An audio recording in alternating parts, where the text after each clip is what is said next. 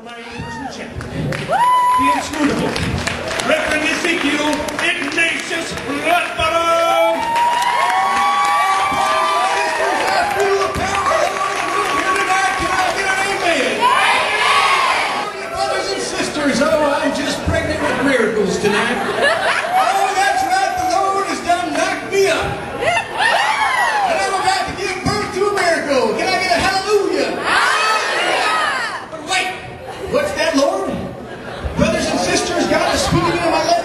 speak right now.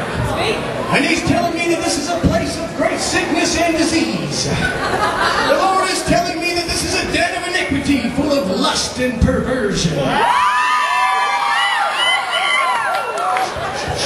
I smell it on you, brothers and sisters. I smell a fire burning in the loins here tonight. Yes, I do.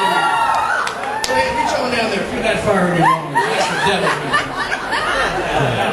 Now, I know there's some of you in the audience here tonight who say to yourselves, but Reverend, I'm not sick.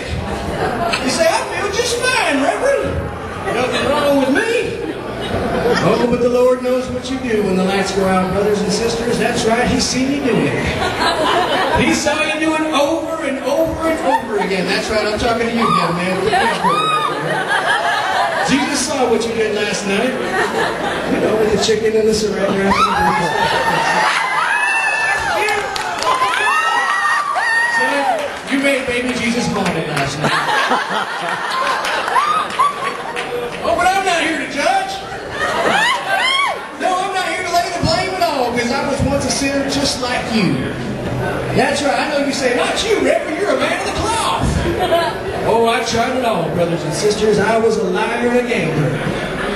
I was a heathen and a hypocrite. I was a sodomite.